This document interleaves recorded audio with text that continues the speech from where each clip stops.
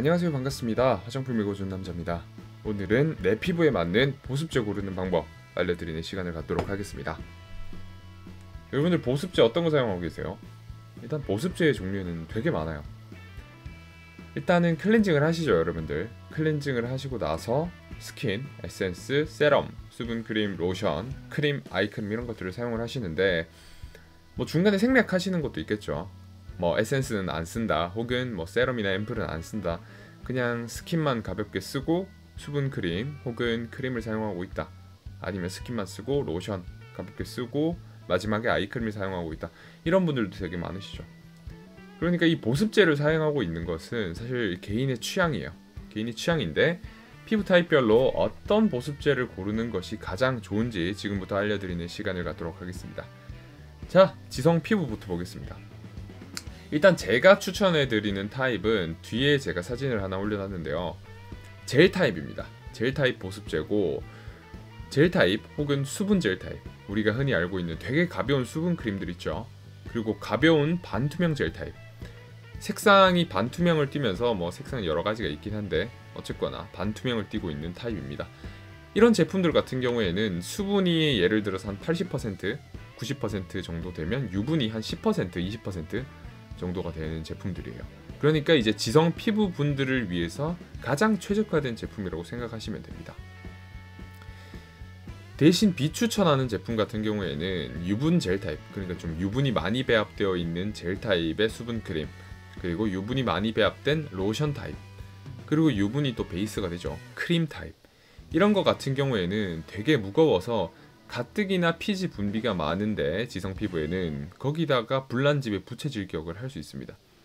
그러니까 최대한 가벼운 수분 타입의 제품을 사용하시는 게 좋아요. 대신 수분 타입의 제품을 사용하시고 나서 좀 건조하다면 선크림 있죠. 선크림들이 생각보다 보습제가 많이 들어가 있습니다. 그렇다 보니까 선크림을 바르셔 보세요. 선크림을 바르셨을 때 만약에 촉촉하다 더 이상 건조하지 않다라고 생각을 하시면 그대로 사용을 하시면 되고 혹은 이제 좀 건조하다 그래도 조금 건조하다 싶으시면 약간 유분 젤 타입의 제품 혹은 유분 로션 타입의 제품을 조금 위에 더 발라주시면 돼요. 그러면 이제 수분막을 한층 더 씌워가지고 수분이 날아가지 않게 해주기 때문에 편하게 보습을 하실 수가 있습니다. 사실 지성 피부는 좀 편해요. 많은 제품을 안 사용해도 되고 아이크림도 안 쓰셔도 됩니다. 왜냐면 눈 주위에서 이미 지성 피부 같은 경우에는 피지 분비가 계속 원활하게 이루어지고 있기 때문에 굳이 아이크림을 사용을 해서 피지 부족으로 인한 그런 유분들을 컨트롤 해줄 필요가 없어요. 참 좋은 장점이죠. 반면에 조심해야 될 성분도 있습니다. 미네랄 오일, 식물성 오일, 그러니까 뭐 올리브 오일도 있고 코코넛 오일도 있고 여러 가지 오일이 있죠. 아르간 오일이 될 수도 있고 여러 가지 오일이 들어가 있는데 이런 오일들이 좀 많이 배합되어 있어 가지고 성분표상에 좀 앞쪽에 위치를 하고 있으면 좀 조심해 주시는 게 좋습니다. 왜냐하면 아까도 말씀드렸다시피 이미 피지 분비가 많이 되고 있어요. 거기다가 오일을 좀 더 섞어 버리면 더 문제가 되겠죠.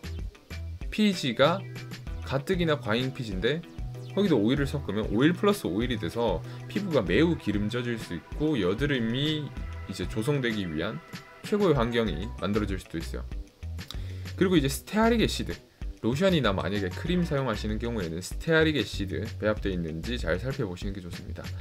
이게 지방산 성분인데 지성 피부에는 조금 무거울 수 있어요. 무거울 수 있어서 모공을 막거나 여드름을 유발하는데 막 스트레스를 제공하거나 이런 역할을 할 수 있기 때문에 stearic acid도 주의해 주시는 게 좋습니다. 그리고 이제 지성 피부를 봤으니까 건성 피부를 봐야죠. 아까 전에 지성 피부에서는 추천 타입, 비추천 타입 이렇게 있었는데 이제는 건성 피부에서는 둘 다 추천을 드리는 거예요. 추천 1번, 추천 2번인데 일단은 유분 젤 타입, 유분 로션 타입, 유분 크림 타입. 그러니까 이제 유분이 베이스가 되는 제품들을 권해드리고 싶어요. 근데 그것만으로 부족하신 분들이 분명히 있으시단 말이에요. 수분이 부족하신 분들이. 그런 경우에는 스킨 가볍게 사용하신 다음에 뭐 에센스나 앰플 정도 사용을 하시고 젤 타입 혹은 수분 젤 타입, 가벼운 반투명 젤 타입으로 수분을 일단 충전을 해주세요. 그리고 나서 추천 1번에 보이는 유분 젤 타입, 유분 로션 타입, 유분 크림 타입을 발라주세요. 이렇게 하시면 추천 2번에 보이는 젤 타입, 수분 젤 타입, 가벼운 반투명 젤 타입의 제형이 유분들한테 갇혀요. 물이 이제 기름보다 가볍 아니, 무겁잖아요. 그래서 오일들이 뜨게 되는데 그때 이제 오일층이 물층을 꽉 잡아주는 겁니다. 증발하지 못하게. 그렇기 때문에 추천 2번 제품을 먼저 사용하시고 추천 1번으로 막을 싹 형성해 주세요. 오일 형성, 오일 막을 형성을 해주시면 수분이 잘 안 날아가게 되면서 더 촉촉한 피부를 만들 수 있습니다. 그래서 건성 피부 같은 경우에는 성분이 좋은 추천 1, 추천 2 타입의 제품을 권해드리는 거죠. 건성 피부에도 조심해야 될 성분이 있어요. 일단은 알로에베라잎 관련 성분인데 이게 좀 단점이 건성 피부 같은 경우에는 이제 각질이 좀 부각되고 하는데 밀림 현상이 좀 있습니다. 보습력도 아무래도 좀 부족하고 지성 피부에는 괜찮지만 건성 피부에는 조금 맞지 않은 성분이라 가지고 제가 알로에베라 관련 성분을 올려놨습니다. 그리고 이제 로션이나 크림 타입에 많이 사용되는 PEG, PPG의 유화제 성분. 성분으로는 전 성분에 보시면 PEG 혹은 PPG로 기재가 되어 있습니다. 뒤에 숫자가 붙어 있는 경우도 많고 문자가 붙어 있는 경우도 많아요. 이런 성분을 통틀어서 의미하는 것입니다. 그리고 로션 같은 경우에는 어, 좀 약간 예외적으로 조심해야 될 성분 caprylic capric triglyceride 그리고 stearic acid, palmitic acid 같은 경우에는 지방산 성분인데 아, 꽤 안 맞는 분들이 많이 계시더라고요. 이런 성분들에 대해서 알레르기가 유발되는 분들도 꽤 있었고 네, 그렇기 때문에 이 성분들도 조심해 주시는 게 좋습니다. 만약에 건성 피부인데 좀 피부가 민감하시다면 웬만한 제품에 근데 거의 다 배합이 돼 있어가지고 피하기가 쉽진 않을 거예요. 쉽지는 않은데 한번 써보시고 만약에 아 내가 진짜 안 맞다 좁쌀 나는 것 같고 이렇다 하고 생각이 되시면 사용을 하시다가 중단을 하시는 것도 나쁘진 않습니다.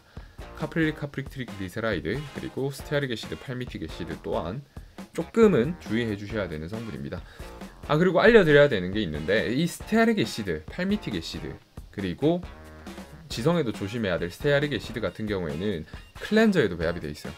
클렌저 같은 경우에는 세정 성분으로 비누화를 시키는 성분으로 배합이 되어 있는데 클렌저에 배합되어 있는 이런 acid 성분들은 상관없습니다.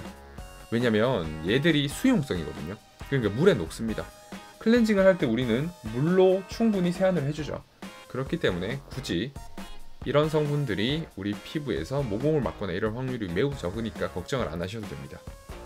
물로 씻어내시면 그리고 거의 거의 100% 씻겨 나간다고 생각을 하시면 되니까요. 자 여기까지 피부 타입에 맞는 보습제를 고르는 방법을 알아봤는데 가볍게 정리를 해드릴게요. 내 피부에 맞는 보습제 고르기 1번 보습제를 선택할 때는 스킨 에센스 세럼은 지성건성 공통이다.